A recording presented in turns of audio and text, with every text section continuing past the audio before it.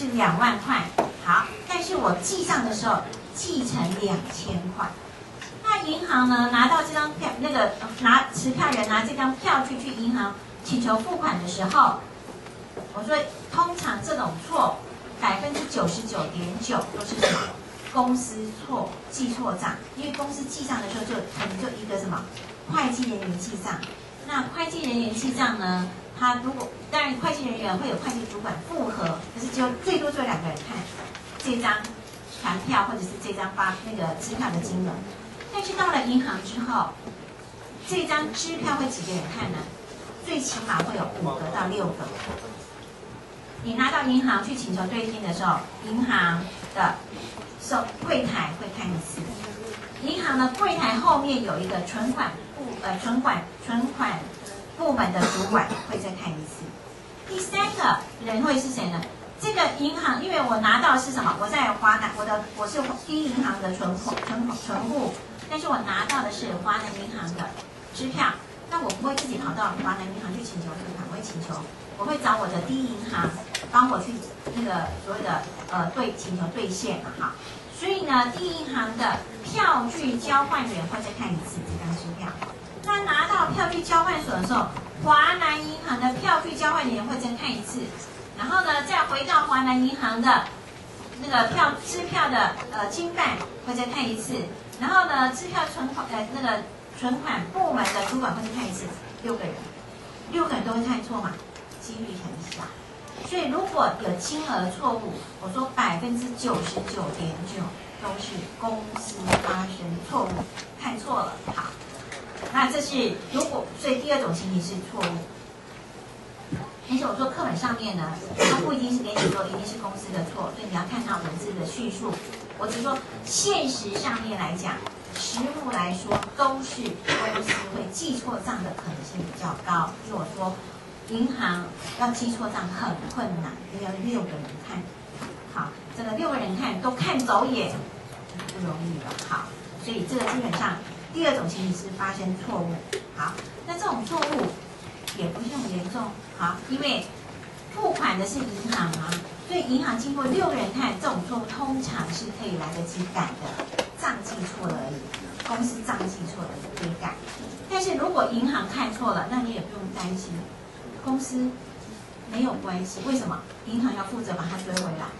我明明开的是两千块，银行付了两万块，他多付了一万八，银行要赔你。啊，所以公司是不会有这个一万八的损失的风险，因为我明明开的是两千块，我票据只要开的是两千块，银行付错的话，银行要负责。好，所以基本上这种错误对公司来讲风险都很小。第三种不一样最怕的状况就是舞弊。好，就是舞弊。好，也就是说什么呢？好，我其实呢，呃，比如说我是银公司的支票管理人员，然后呢，我自己开了支票去银行领了钱出来，可是这个支票这个开支票这个动作没有因为前面要付款，所以呢，公司账上不会记。所以这种情况之下是公司账上的金额、现金的余额跟银行存款上面的金额不一样，那这种就是舞弊。好，这种舞弊呢，就是公司最要防范的。那这个是呃，我们会谈银行为什么会产生银行调节表，因为公司账上的金额跟呃，现金的存银行存款的余额跟银行存款里面我们的存款余额不会相同的原因，最常出现的是时间差。然后第二个可能就是发生错误，那不常发生的了哈。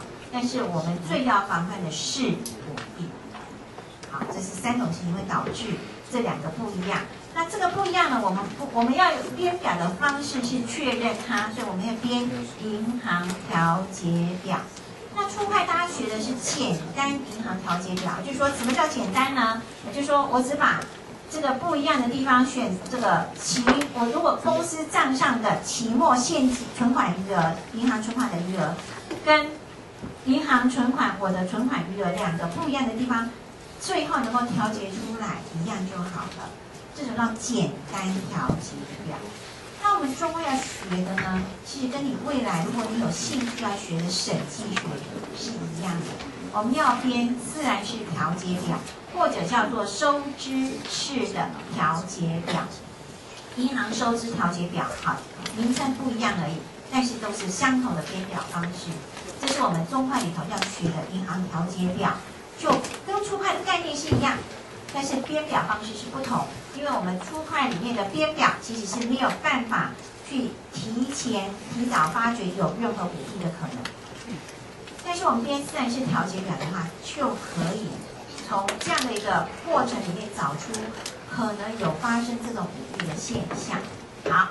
那我们再来看一下呢，时间差可能发生的情形。好，我们就回过头来，发生的错那个差异的原因是三种。那三种里面呢，当然最常发生是因为时间差。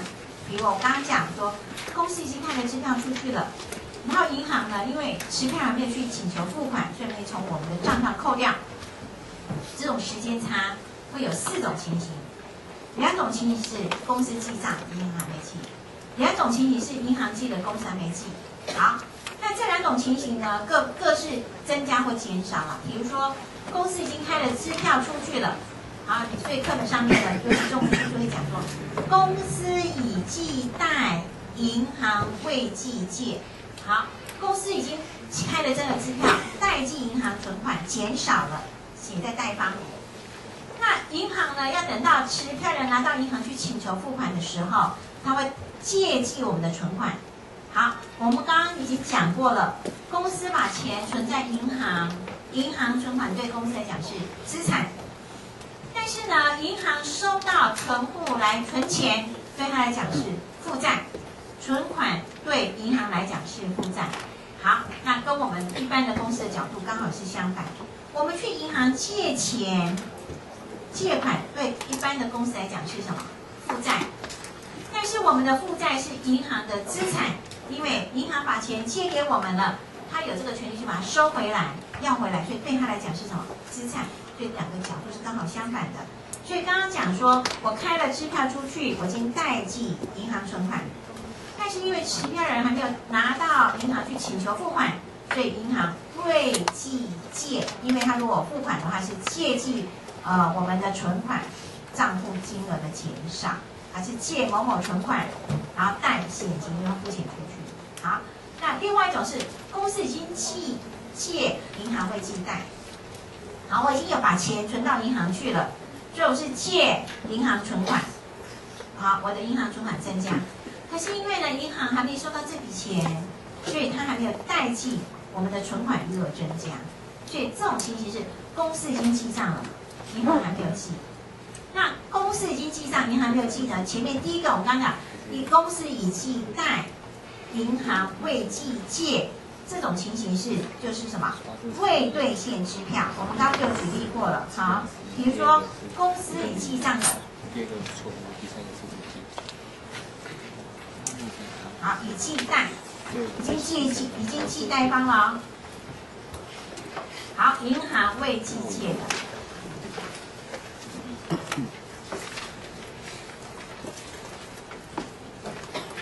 这个例子是未兑现支票，我们已经开出去了，但是呢，因为持票人还没有拿到银行请求兑现，所以这是未兑现支票，就是时间差。如果公司已计借，然后呢，银行未计贷，就是我们的存款呢没有增加的。这是什么？在途存款。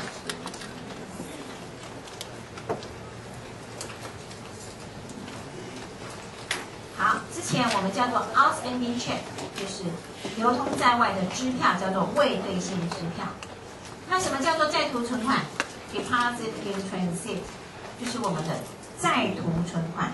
好，如果我们出块，因为用的是原文书，好，原文书里面呢一样有这些东西。好，只是那时候你知道，我们是用英文来表达诶，未兑现支票就是 outstanding check。好，那在途存款呢，就是有 outstanding receipt。好，这是这两个名称，它其实都是我们出款里面做的。好，这是公司已经做了，银行还没做的。那再来看一下呢，银行有可能银行已经做了，公司还没做的啊。好，银行已记，好，我们对着对着它好了哈。如果银行已记在，公司未记借。为，什么呢？银行以记代表示什么？银行帮我们收钱了，帮我们收到钱了。可是呢，那个公司还不知道有这笔钱进来，却没有记账。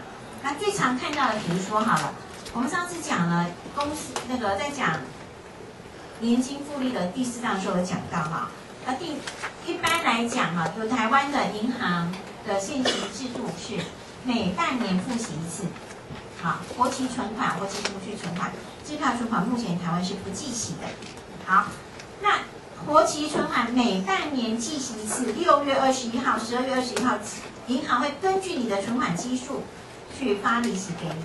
那公司呢，其实它不会去计算，啊，它不会去斤斤计较说，哎，我到底有多少利息？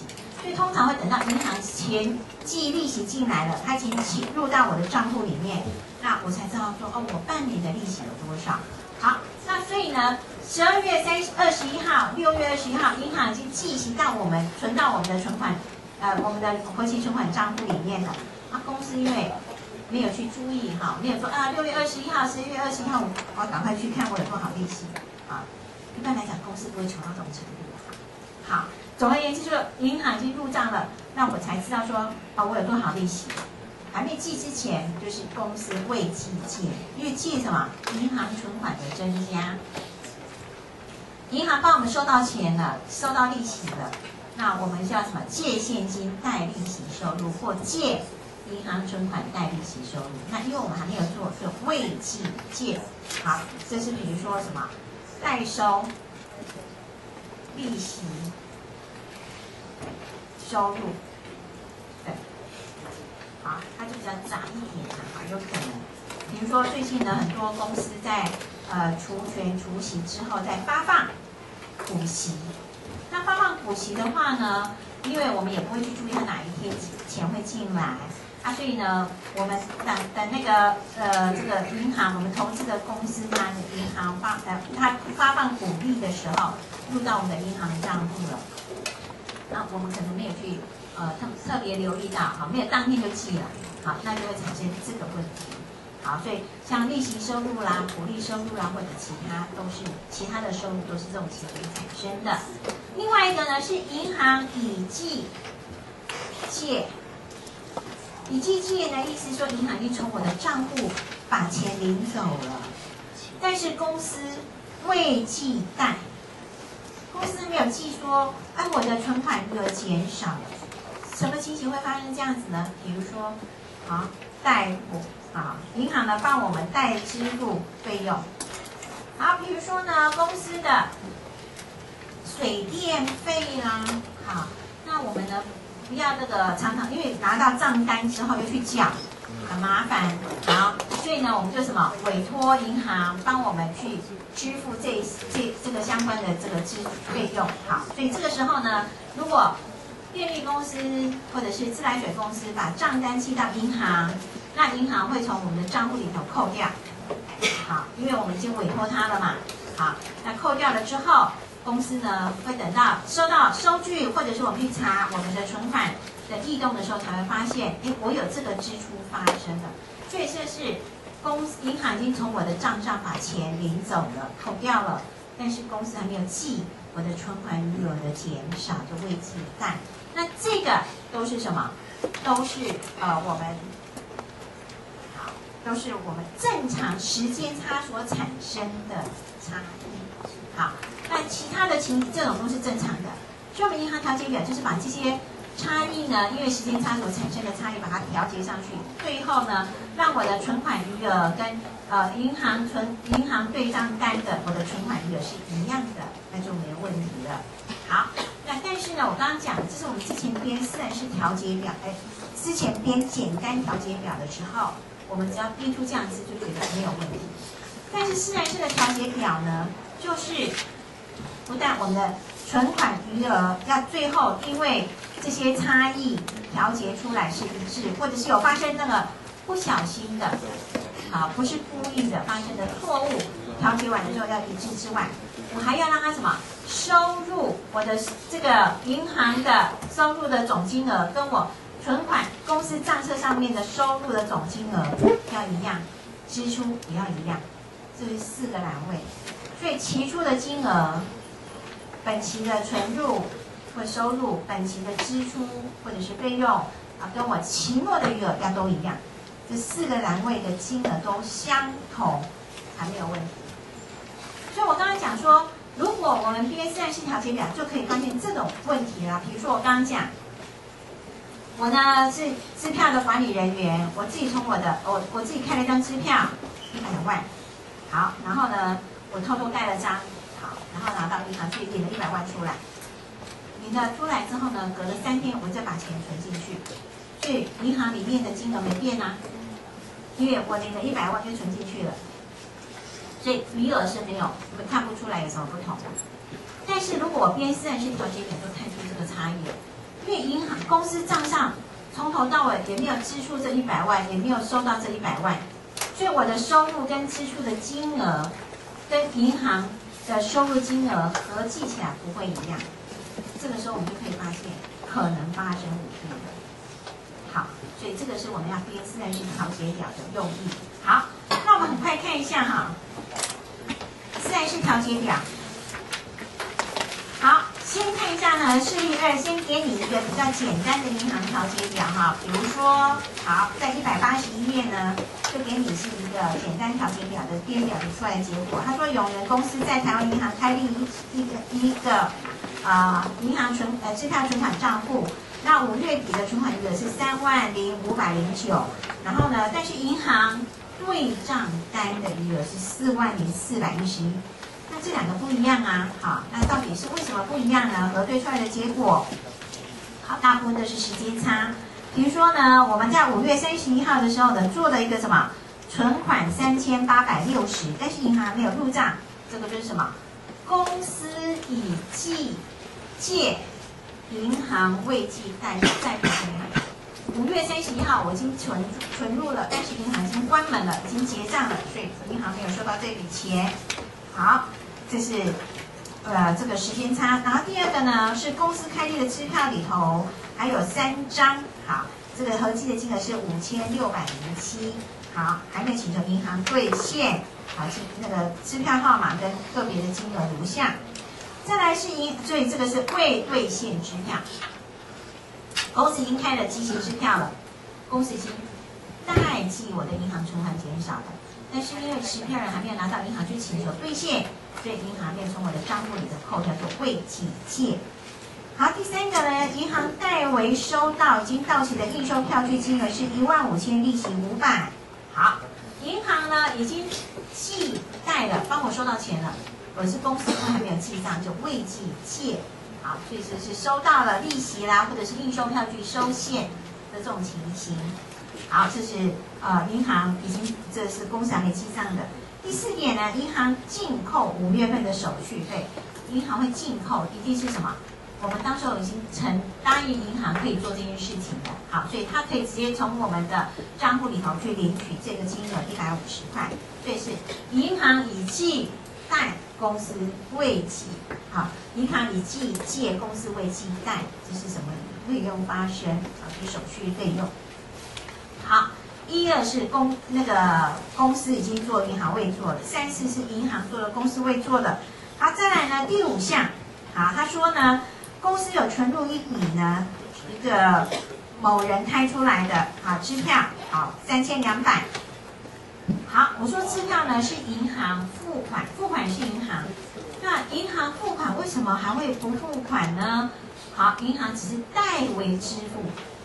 代他的支存款人支付款而已啊，那存款人如果没有钱的话呢，他当然就是什么，把他跳票了或退票了，所以这个时候就是存款不足退票。好，如果我们以前的原文书上面呢，就是 NSF 那 sufficient fund，就是存款不足退票，记得吗？我们以前原文书的时候会出现 NSF。好，就是存款不足退票的意思，就 non-sufficient fund。好，那个存款不足，好，就金额不足，好，这个不足的金额，哈，这个就是存款不足退票。好，有三千两百。那因为呢，基本上我们上次已经讲了哈，呃，我钱存到我如果拿到一张集齐支票，我到拿到银行去存的时候，因为是集齐，银行就要看所有的法律绝对要件、记载要件都符合，它会记你的存款增加，就是代记你的存款增加。那如果万一对方哦，那我就说了，就像我刚刚讲，我是第一银行，我拿到台华南银行的支票的时候，我会请我的呃第一银行的票据交换员去。跟华南银行请求付款，那华南银行呢？如果他的发票人存款不足，他就帮你这样退票退回来给第一银行说，对不起，发票人没有钱付这笔钱。好，那第一银行呢会再从我的账户里头把这笔钱领出来。他不是说，哎，我做一开始做存入是错误的，他不是更正，所以不是存款存入的金额增加减少，不是。他是先做先做存入，然后再把钱领出来。好，所以呢，到时候会有个存跟支这两个动作出来。好，那再来呢？所以这个是公司还没有做的。好，因为银行直接先从账户里头把钱领出来了，因为存款不足。那在第六点呢是，呃，公司为了偿付支票开立的支票金额是五六六。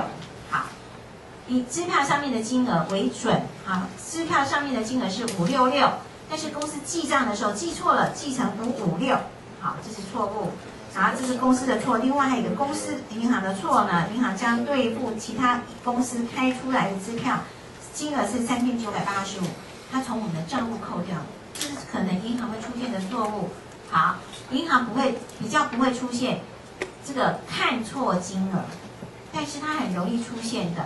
就是扣错账的哈，以前我在银行这个呆支票存款的经办的时候，我也发生过这样哈。比如说是一二零五的这个人开出去账号一二零五的，结果呢，我抽到一二五零这个账户的那个那个他当时有张卡片哈，就是一张他的记录卡啊，那就付了啊。后来发现啊，所以呢，后面的复合的人就要看哦，不是看金额而已哦，他要看账户。啊，会不对？好，账号对不对？好，所以这个有可能是银行会发生的错误。那我说银行不会发生是太错金额，他不会把三九正确是三九八五看成三九五八，不会。如果发生这个错误的话，就很严重哈，因为他当天的账金不合了。哈，好，所以这几个错，这个几个因素，我们的编的银行调节表。好，所以呢，在途存款。我说的是公司已经记了，银行未记，我当然要把什么银行补记上去。所以你可以看呢，银行呢一百八十一页，好，一百八十一页呢，在银行对账单里面的左边呢，我是写银行对账单的金额去调节出来，右边是写公司账户的调节金额，然后调节出来正确的余额只有一个，既然叫正确就只有一个，好，我有两个的正确。好，那我们可以看一下呢，在途存款的银行呃银行误记，哈，因为银行误记从我账户扣掉了，那不是公司的，所以呢，我们要把它什么？要把它加回去。然后未兑现支票的五千六百呃五千六百零七啊，要从我们的账户扣掉，从我们的银行存款余额里头扣掉。然后再来呢是公司账上的，所以你可以发现，好，正确余额是四二六四九，两边都一样。好。这是我们初会里头所学的简单调节表。好，那我们接下来看一下呢，我们要编四还是调节表？好，所以没关系，如果你还没看、没听到的话，你回去自己复呃这个自习一下。如果有问题的话，因为有两个呃两个系所有点呃有事情哈，所以他会提早走，两位同学提早走。好，那我们要谈的是自然式调节表。好，自然式调节表是一百八十二页。但现在是调节表呢，重点是我们要知道期初、期末一些相关的数数据了哈，所以我们来编一下。虽然课本上有，但是我编一次给大家看一下，也许呢，我从头到尾做一次，可以让你比较清楚一点哈。四是调节表，我刚刚讲要四个栏位，好，哪四个栏位呢？拿这个例子来讲，好，四月底就五月初，好。五月初的余额，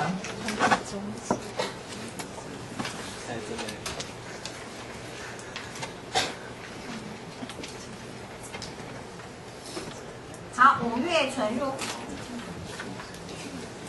五月支出，五月底余额，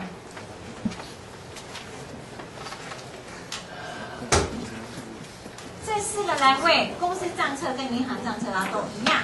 好，所以呢，我们来看一下，假设我从公司上上金额去做调节，当你知道公司账上的金额是多少呢？五零五零九，看一下哈。这边呢，公司存款有三零五零九哈。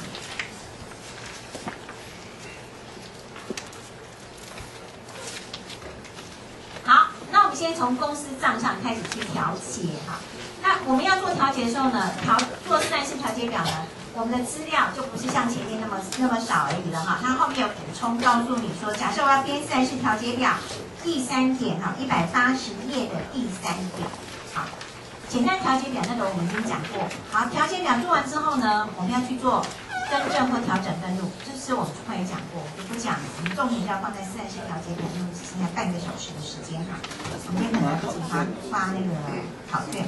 好，那我们看一下呢，四月底有在途存款。四月底的在途存款呢是呃银行要做的，所以不是公司账上要做的。好，然后呢未兑现支票是银行要做，不是公司要做的。好，那四月底的证券银行存款是五五零九八，所以我们假设呢，哎，银行呢五五零九八，好，它已经是。它因为公司账上已经把它调节到正确的了哈，然后第二个呢，我们看一下呢，那五账上公司五月份的支出是九零三二七，好，公司的支出是九零三二七，